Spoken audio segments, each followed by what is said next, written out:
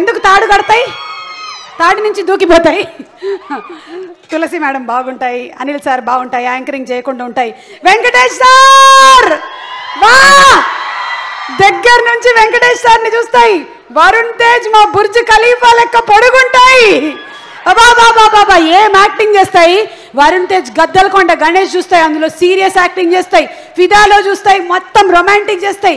ఏ cinema అయితే ఆ cinema చూస్తాయి? వెంకటేష్ సార్ స్వర్ణ కమలంలో అబాబాబాబా ఏం చేస్తాయి? Single hand Ganesh Sundarakanda F three Bobbili Raja. ఏంటి హోస్టింగ్ ఏంటి? ఒక్క డాన్స్ చేస్తాయి ఏంటి హోస్టింగ్? ఒక్క డైలాగ్ అక్కాయ్ పొక్కాయ్ దుబ్బాయ్ కుక్కాయ్. ఇంతాక నుంచి చూస్తున్నాను. కక్క కక్క కక్క కక్కుతున్నావు నువ్వు. నా డైలాగ్ చెప్తాయి.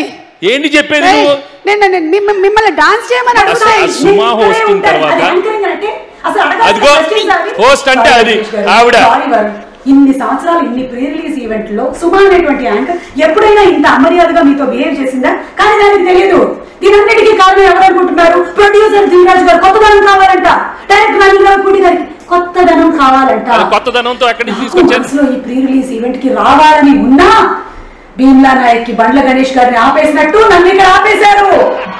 బండ్ల ఫీలింగ్ ఏంటో నాకు ఈ రోజు అర్థమవుతుంది. Sorry Venkatesh garu.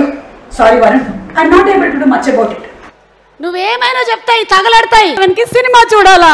నేను ఇప్పుడు ఏం మాట్లాడితే వెంకటేష్ గారు మాట్లాడిన తర్వాత మొత్తం మైండ్ బ్లాక్ అయితే.